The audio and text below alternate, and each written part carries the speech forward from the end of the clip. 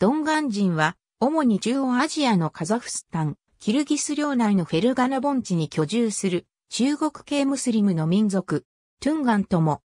19世紀の1862年に中国西部の現先生小地区から起こった海民の反乱が鎮圧された後、ロシア帝国領であった中央アジアに逃げ込んだ人々の子孫を主体とする民族である。他に新天地を求めて移住した玄関縮小周辺の海民の子孫もいる。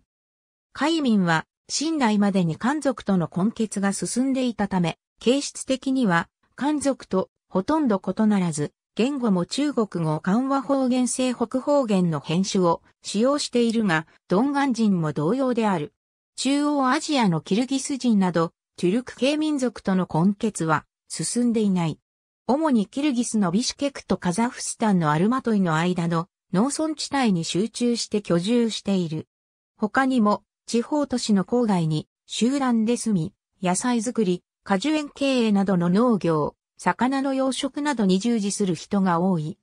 言語はアラビア語やペルシア語、ロシア語の文を多く含み、成長記号のないキリル文字で表記する得意な中国語の一方語とドンガン語を使用している。ドンガンの民族名の由来については諸説あるが、中央アジアのトゥルク諸語で立ち戻ったを意味するダンガンの語に由来するという説が有力である。なお、自称は税である。イスラームの教えにのっとった生活を基本としているが、服装や料理などに漢民族との共通点も見られる。ありがとうございます。